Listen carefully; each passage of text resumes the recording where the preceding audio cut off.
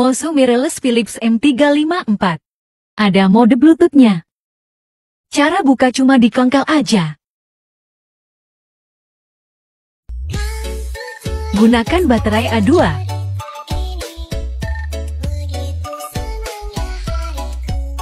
Tekan tombol Bluetooth untuk mode Bluetooth.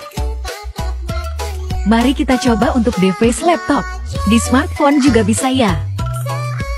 Konekkan ke Bluetooth, lalu tunggu hingga proses selesai. Mouse sudah bisa digunakan.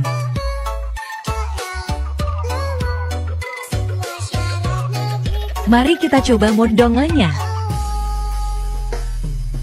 Jangan lupa matikan mode Bluetooth-nya. Langsung auto connect ya.